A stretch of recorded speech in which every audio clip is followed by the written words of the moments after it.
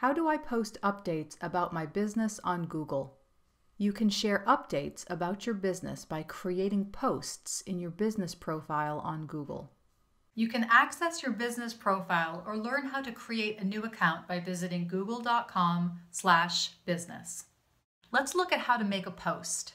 When customers find your business on Google, they can see posts that will highlight news, events, and offers.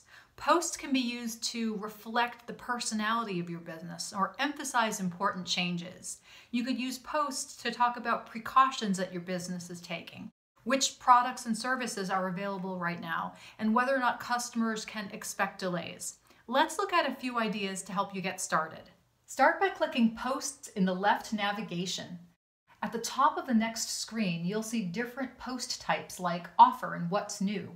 You may also see an option to create a COVID-19 update. Select the type of post that best fits what you want to say. You also have the option to add a photo or a video. If you add a photo, choose a well-focused image with bright, vibrant colors. You can upload JPEG or PNG formats. Videos add even more life to your post. They can be up to 30 seconds long, 100 megabytes in size, and most standard video file formats are acceptable. Next, you'll write the post.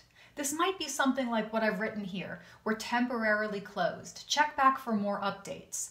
Depending on the kind of business you own, you can write things like learn how to do a home facial or our dining area is temporarily closed, but we offer takeout and delivery. Finally, you have the option of adding a call to action button. Your button options are things like order online, book now, sign up, or learn more.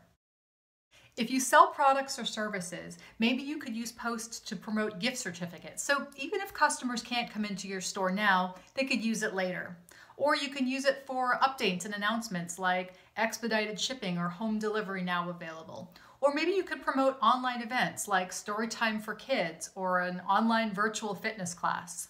And that's how you post updates about your business on Google.